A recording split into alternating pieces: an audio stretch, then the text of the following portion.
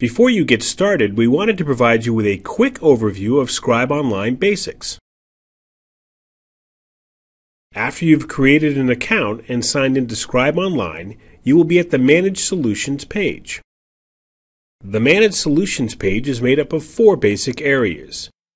The Administrative area, Scribe Online Toolbar, the footer, Solutions. From the administrative area you have Organization List, where you can create and edit an organization. An organization represents the company that is using the Scribe Online solution. If you've been invited to multiple organizations, you can select which organization you want to work with from the list. My Account is where you can view and edit information about your login account such as company name, phone, and address information, as well as manage your password information. Invitations allow you to accept or decline an invitation that has been sent to you to join an organization. Help has links to Scribe Online Support Forum, the Help System, and other support related resources. Moving over to the Scribe Online toolbar, you have five tools available to you. Solutions are where you set up and manage integrations. The Solutions page provides information about the status of all of your Scribe Online solution instances.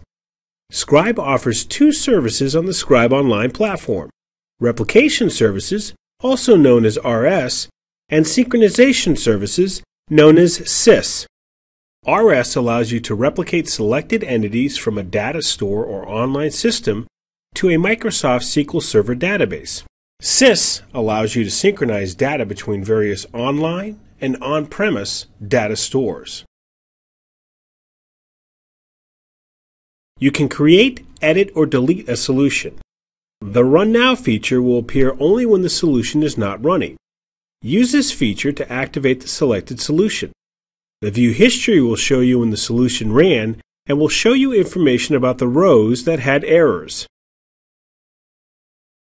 Use the Solution Wizard to create or edit a solution. You can enter general information and select or install an agent. You can also create maps. With a map, you select the source and target data, the entities you want to work with, and create links between source and target fields. Using the formula editor, you can use functions and expressions to transform data. If you need to work with more than one entity, you can create multiple maps within a solution instance or you can create multiple solutions. From the Maps folder, you can create, edit, or delete a map. Additional information about any of the existing maps can be viewed in the lower part of the page. You can change the order of existing maps by using the Move Up and Move Down functionality.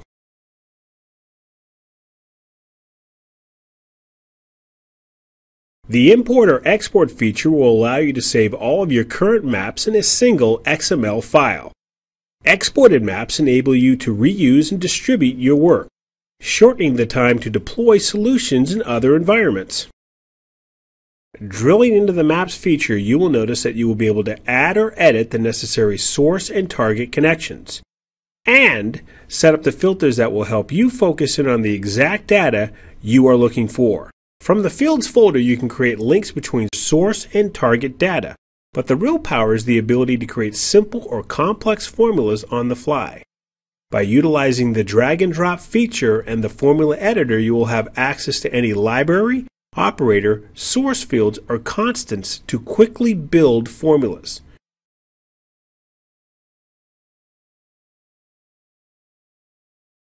And you can also determine how often you'd like to run the solution instance and whether you want to run the solution manually or set it up to run automatically.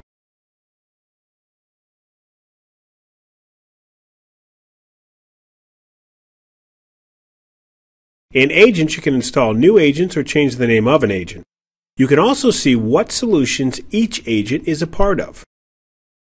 Scribe Online has two types of agents available to the user. The Cloud Agent requires no installation, is hosted by Scribe, and is used for cloud to cloud integrations.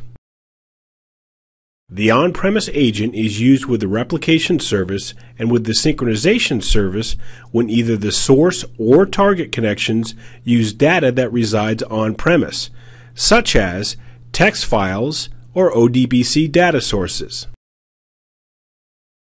Connections list all of your connections. A connection contains the login and other parameters you need to connect to any data store used by Scribe Online.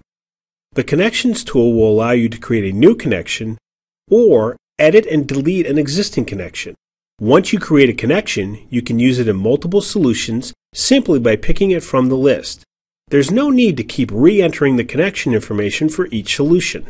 When the schema information in your connection changes, Use the Refresh Metadata feature to update the metadata stored for that connection.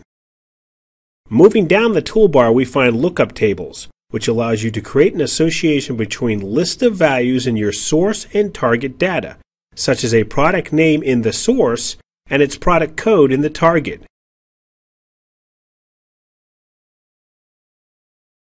You can create a new lookup table, edit an existing lookup table, or delete a lookup table. In users, you can invite others to join this organization, either as a user or as an administrator. For example, this allows you to give access to your Scribe Online system to other workers in your organization or consultants, whomever you might need to help with your integration work. When those people no longer need access, you can remove them from your organization.